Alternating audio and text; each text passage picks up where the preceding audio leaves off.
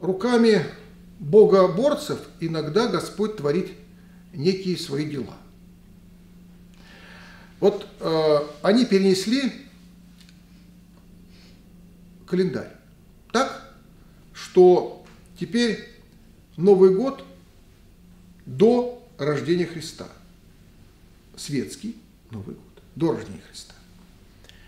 И вот это является как некий, на мой взгляд, ну, такой индикатор того, насколько для человека, какие праздники для него важны, насколько он какой, кто он такой, он кто больше.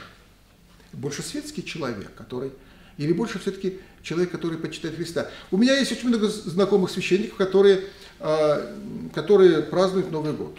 И, причем есть священники, которых я уважаю за их э, э, ум, за их знания. А, но я могу быть не согласен. Со мной тоже могу, могу сейчас не согласиться, что э, я являюсь противником празднования Нового года, вот этого Нового года. Я не вижу в нем никакой логической связи, смысла, никакой логики, э, ну, такой вот даже, даже светской логики я не вижу.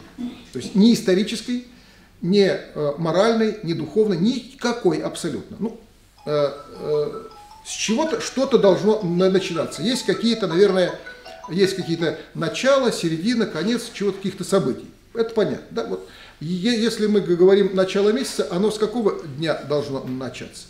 С первого числа каждый месяц, да? Не с 10 нет, не с 10 С какого а, месяца начинается зима?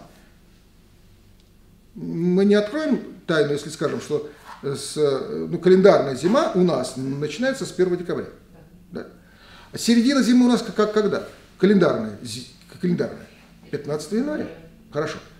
А чего мы празднуем тогда 1 января? То есть э, в календарном отношении, то есть в в годичном круге, даже если говорить о том, что год заканчивается осенью, хотя это тоже странно, год должен заканчиваться по всем ну, правилам логическим, он должен заканчиваться, э, заканчиваться летом. Вот лето закончилось, да? Вот логично. Ну как, э, наверное, 90% страны связано с учебным годом.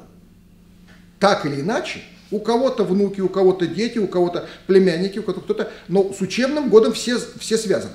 Вот это логично, что после отдыха летнего начинается новый учебный год. Это понятно.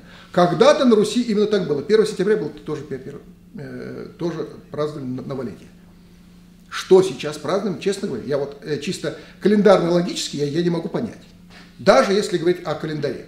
Просто пере, ну, для нас, а, а, вот, наверное, было то же самое, если бы мы а, сделали, если бы они, вернее, там, вот, коммунисты сделали, не перенесли не на этот день, но, но скажем, на какой-нибудь, на, на китайский там Новый год, там, в марте, там когда-то будет, в конце февраля, пожалуйста.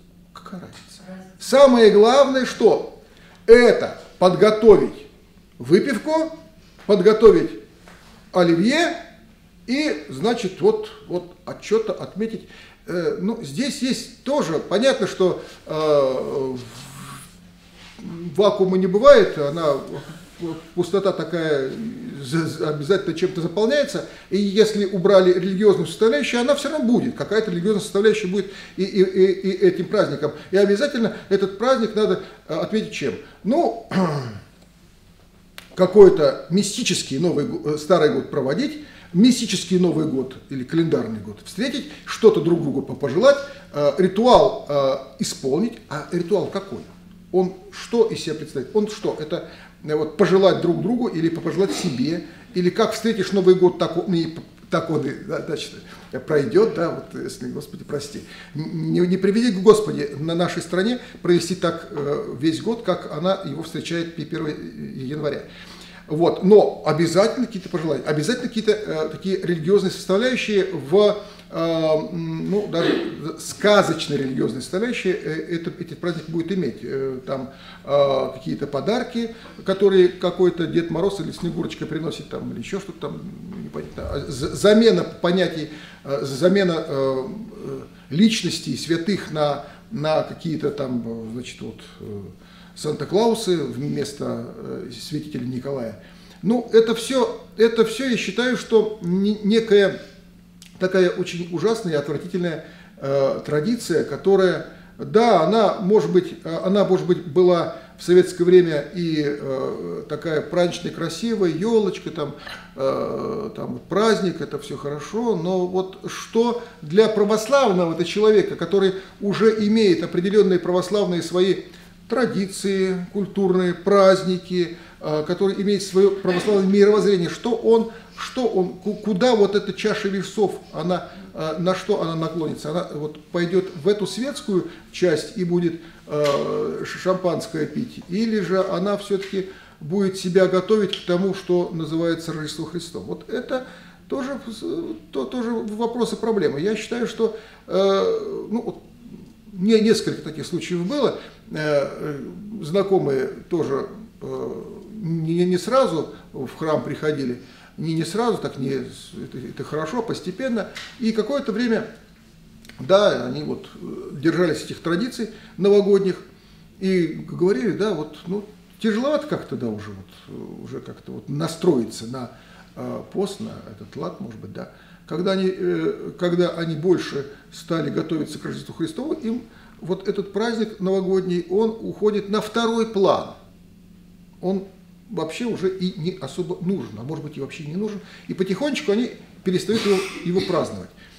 Такое тоже бывает. То есть есть э, опыт, есть опыт у многих.